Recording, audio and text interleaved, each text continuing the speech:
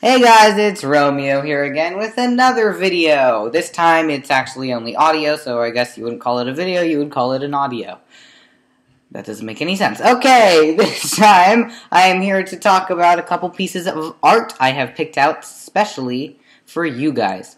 I hope you find these pieces of art as interesting as I do. Okay, first let's start with a little intro, if I may. After those Middle Ages, which apparently were so awful, people in Europe started to enjoy more creative things such as science, art, philosophy, etc., etc.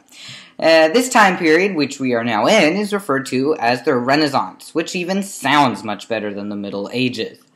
Art has significantly improved, going from old tempera paintings, which look very flat and boring, to oil on wood paintings, which add much more depth and texture to the painting. Leonardo da Vinci made very fine use of oil paint on wood in his painting, The Mona Lisa, but more on that later. I'd like to start with Leonardo da Vinci's The Last Supper. In this beautiful tempera mural, da Vinci depicts Christ at the Last Supper with his twelve apostles. The moment that the painting captures is said to be the time when his apostles are all reacting to the moment when he announces that one of them will betray him. It also could be interpreted as the moment where Christ says, Take this bread, for this is my body. Take this wine, for this is my blood. As Christ is reaching for the wine and the bread. Everyone could be reacting to that moment as well. Judas, the one who will betray Christ, is reaching out to a bowl near the wine that Christ is reaching for, while at the same time leaning away from Christ while holding the 30 pieces of silver he was paid by the Romans to betray Christ.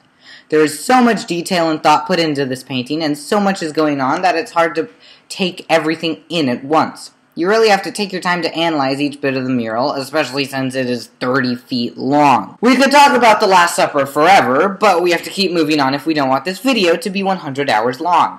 Not video, audio. Right, you can't see me. The next piece of artwork I like to focus on is Michelangelo's David. It is, in my opinion, the most impressive piece of artwork in the world.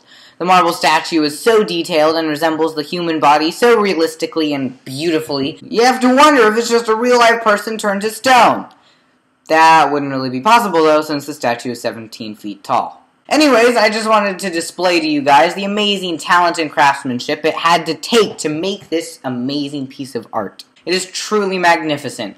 I'm sorry, I didn't even tell you what the statue is about. Okay, so the statue is of David, who killed the giant Goliath with just a slingshot and a single rock. And help from God, of course. Like the Last Supper, I could go on and on about this work of art, but we have to move on. The last work of art I'd like to show you is small. It's only about two and a half feet long, but it is rather impressive. This is Leonardo da Vinci's Mona Lisa. It is an oil on wood painting. Da Vinci's use of the oil paint really adds texture and depth to the painting. He also uses a technique called sfumato, which means he uses smokiness and haziness to cover the painting, which hides all the hard lines and gives more realistic depth to the piece.